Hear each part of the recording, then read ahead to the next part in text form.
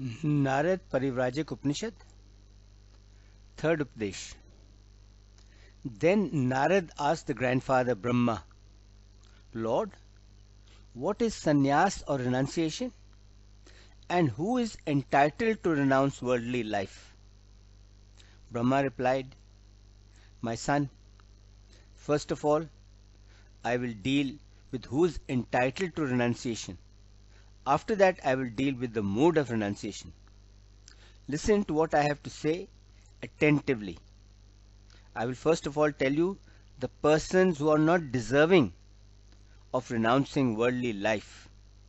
These are a eunuch, a person who has fallen from the right conduct, a person with deformities, women, the deaf, the dumb, children, heretics, an emperor, a religious student, a Vaikhans priest, and a Hardwij, a Kapalika, a hired teacher, a man without a foreskin, one who does not maintain the sacred fire. This is despite the fact that all these persons may be possessed of dispassion. Even if such people adopt a life of renunciation, they have no right to receive instruction in the great Vedic, Vedic sayings such as "Tat Tattvam Asi or that thou art and the like. However, one who is already an ascetic has the right to become the highest kind of ascetic the Paramhans. He who is able to give protection from fear to others from his own person, as he himself gets that protection from fear from others. Such a one is declared in the law books as a mendicant monk, as a parivrajak. A eunuch, a deformed person, the blind, children, those guilty of a crime, those who have fallen from the right conduct, those who are always at the, do- at the door of others seeking their help, the Vaikhansa priest, the Hardwij, an emperor, a religious student, a heretic, one without a foreskin, one who does not maintain the sacred fire, one who has on previous two or three occasions renounced the worldly life, a hired teacher. These are the persons who do not deserve to embrace renunciation. The only exception is in the case of those who are afflicted, and such people can renounce worldly life just before their death. And Lord, how is renunciation at the time of dire affliction approved by the esteemed Aryans? Know this, my son, that the time just prior to the departure of the vital breaths from the body, only that time is called the sorely afflicted time, and not any other. This occasion of emergency leads to the path of liberation by recourse to renunciation with the prescribed mantras of praise. Even in this renunciation of the sorely afflicted, called Atur Sannyas, a wise man shall renounce the world only in the prescribed manner by reciting the mantras as prescribed.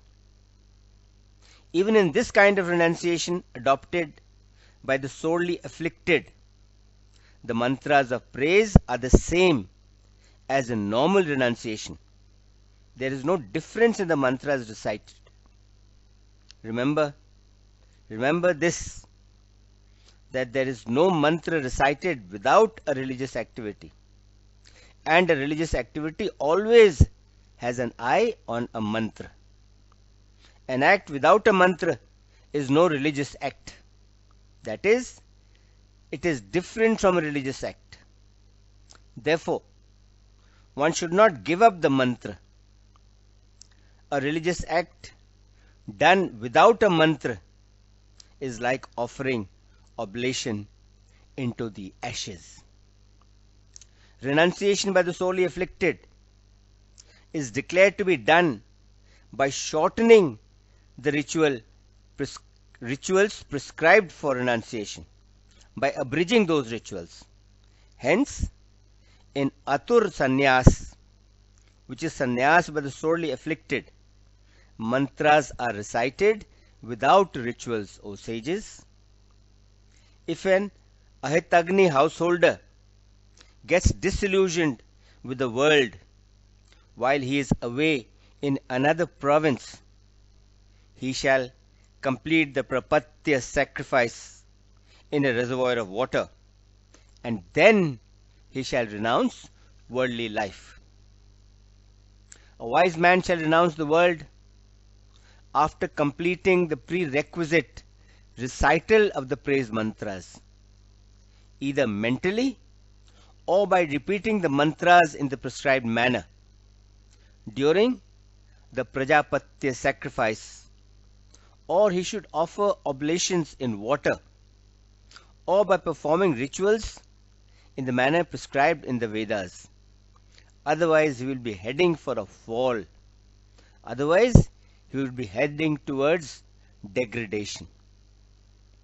When desirelessness towards all objects arises in the mind of a person, then authorities sanction renunciation by such a person.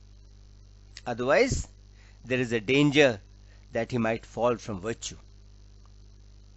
A wise man, when he gets disillusioned with the world, then he may become a mendicant monk. However, when a person has attachment, he should always reside in his house. The Brahmin who becomes an ascetic, when he still has attachments, he is degraded and he will surely go to hell. The Brahmin who is in the stage of a disciplined celebrate student, who is in the stage of a disciplined brahmachari, he may take to renunciation without getting married if he has his tongue, his genitals, his stomach, and his hands and feet under his control. Such a person who sees worldly life as being completely devoid of substance and who has the desire to realize the essence of all, he should renounce the world without getting married, since he is Im- imbued with great dispassion. All activity which is of a non spiritual nature is characterized by a person playing an active part in worldly affairs, by a person participating in worldly affairs. On the other hand, true knowledge is the characteristic of renunciation. Therefore, preferring, wisdom, an intelligent man will renounce the world. When a person realizes that the supreme reality is the eternal Brahm alone, he shall then take up the single staff, which is the emblem of the renunciate. He shall give up his tuft of hair, and he should also give up the sacred thread, thread as well. He who is attached to the Supreme Self, the Param Atma, he is detached from all things other than the Paramatma. And when he is freed from all desires, then he should only eat food that is given to him in alms. When a person who becomes very pleased when he is honored and respectfully saluted, when such a person becomes similarly very pleased when he is being beaten or insulted, only then is he a true mendicant monk subsisting on alms. when his attitude is firmly established in the conviction I am the indestructible, I am the non dual Brahm alone, also called Vasudeva Vishnu, it is then that a person becomes a true mendicant monk, in whom are found peace, silence, purity, truth, contentment, straightforwardness, and absence from any possessions, absence of any possession, and false ego, and false airs. Such a one is in the stage leading to beatitude. When a person has no evil feeling or inclination, in deed, in thought, or in action, it is then that he becomes a true mendicant monk.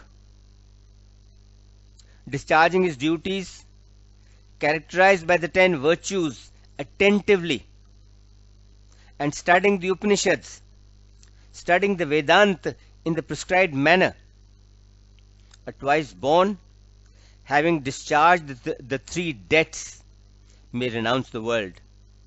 And what are the ten virtues that characterize right conduct or dharma?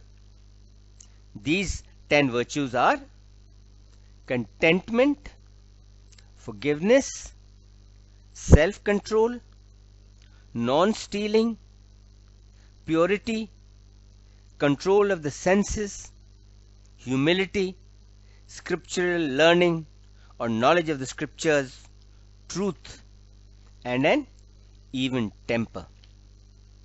One who remembers without longing the experienced past pleasures as also those not yet experienced, nor does he exult or rejoice in those that have arrived. Such a person abides in the stage leading to final emancipation. He who is able to keep the inward faculties of the senses inside, within himself, and he who is able to keep the outward objects of the senses outside himself, without any reaction whatsoever. Such a one resides in the stage leading to beatitude. Just as when the vital breath has departed from the body, then the body no longer experiences any pleasure or any pain. The same is the case with the sage when he is united with the vital breath. Then he stays in the stage leading to final emancipation, the stage of Kaivalya. A pair of loincloths, a patched garment for protection against the cold of winter, and a single emblematic staff. These constitute the attire of the highest class of ascetic, the Paramhans. No more than this is allowed to them by the law laid down in the scriptures.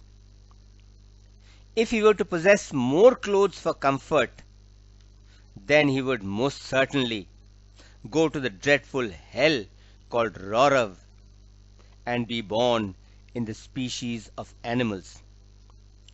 To cover his body from the outside, he may wear a patched garment made out of pieces of discarded but clean cloth after dyeing them with ochre.